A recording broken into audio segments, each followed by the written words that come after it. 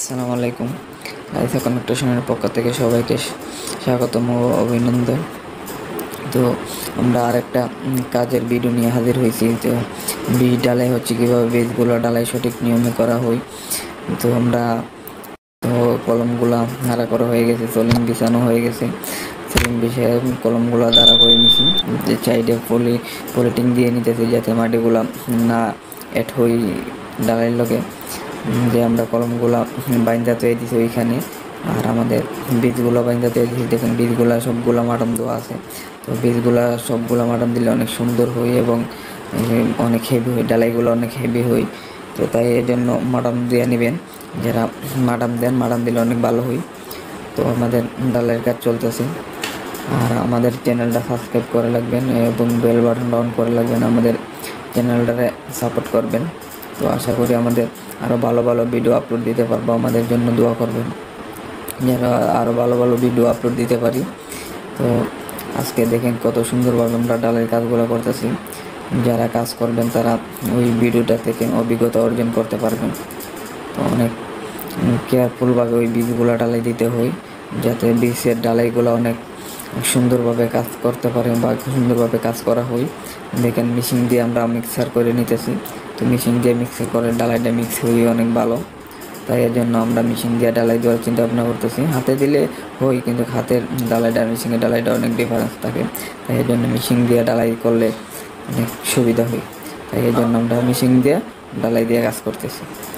তো আমরা আপনাদেরকে দেখাইতেছি কীভাবে ডালাইয়ের কাজগুলো আমরা করতেছি।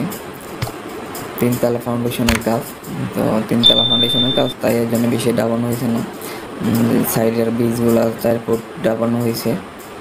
তো সাইডের বীজগুলো চার ফুট আর মাইজের বীজগুলো ফুট বাই ফুট, তিনতলা ফাউন্ডেশন তো আমাদের কাজগুলো একজন প্রকৌশলী ইঞ্জিনিয়ারের দ্বারা ড্রয়িং করা হয়েছে।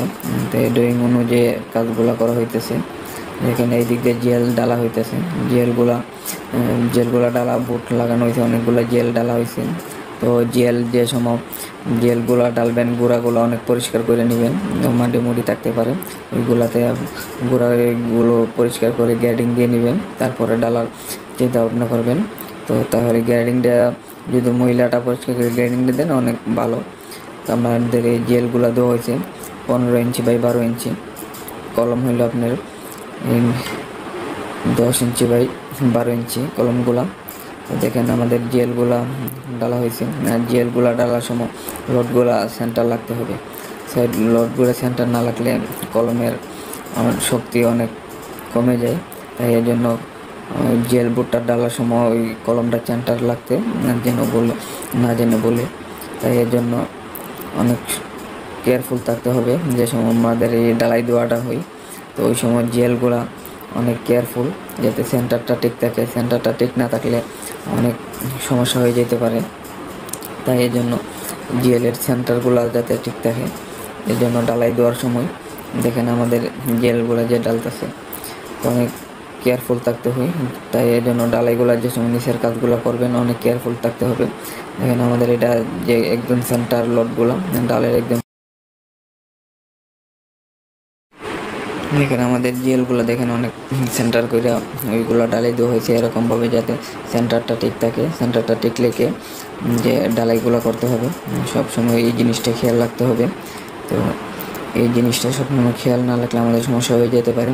আর কাঠের বুটগুলো লাগানোর সময় আগে আপনার এই গুঁড়াগুলো পরিষ্কার করে নিতে হবে যাতে মাটি মুটি না থাকে। ডালাই রাখ মুহূর্ত গ্রেডিং দিয়ে নেবেন। তো গ্রেডিং দিয়ে নিলে অনেক নিচের এই ডালাইগুলা ওটার সাথে অ্যাডজাস্ট হইতে সহযোগিতা করে। তাই এই জন্য নিচে গ্রাইডিং দিয়ে নেবেন। এখানে আমাদের যে বীজগুলো বান্ধা হয়েছে, বীজগুলা সবগুলো মাটান দিয়ে হয়েছে। মাটান দিয়ে কাজগুলো করা হইতেছে। তো এই জিনিসটা সবসময় খেয়াল রাখবেন মাটান দিলে অনেক ভালো হয়। তিনতলা ফাউন্ডেশন মাডাম না দিলেও সমস্যা হয় না। তারপরও আমরা মাডাম দিয়ে নিছি। তো মাডাম দিয়ে নিলে অনেক ভালো তাই এই জন্য আমরা মাডাম দিয়ে দিছি। তো এই নিচের কাজগুলো যে সময় আমরা করি, সবসময় কেয়ারফুল থাকতে হবে। তো ওই নিচের কাজগুলোই আমাদের আসল। তো নিচের কাজগুলো যে সময় করি, যে এইগুলা যাতে সঠিক নিয়মে করতে পারি, সঠিকভাবে করতে পারি, ওই জিনিসটা খেয়াল রাখতে হবে। যাতে আমাদের কাজগুলো, নিচের কাজগুলোতে কোনো ব্রোধ ত্রুটি না হয় এবং ডালের কাজগুলোতে অনেক কেয়ারফুল ভাবে আমরা ডালের কাজগুলো করতে পারি। যে নিচের কাজটাই আমাদের মেন একটা ফাউন্ডেশনের মেন নিচের কাজগুলোই আমাদের মেন যাই এজন্য আমাদের যে নিচের কাজগুলো অনেক সুন্দরভাবে, সঠিকভাবে কাজগুলো, নিচের কাজগুলো উড়াইতে হবে। তাই এই জন্য আমাদের খেয়াল রাখতে হবে যাতে নিচের কাজগুলো থেকে কোনো ত্রুটি না থাকে। তাই এর জন্য আমরা এই কাজগুলোতে অনেক খেয়াল রাখতে হবে যাতে আমাদের সমস্যা না হয়। তাই এর জন্য একজন ভালো একজন কন্ট্রাক্টর এবং ভালো একটা মিস্ত্রি দ্বারাতে কাজগুলো পরিচালনা করতে হবে, যাতে কাজগুলো নিচের কাজগুলো ভালো হয়।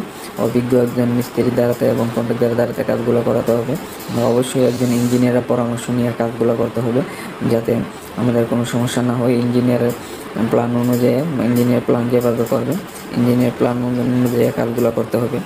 তাই সবসময় চিন্তা করবেন যে ইঞ্জিনিয়ারের পরামর্শ নিয়ে কাজ করার জন্য, তাই মালিকের জন্য ভালো হবে এবং মিস্ত্রির জন্য ভালো হবে।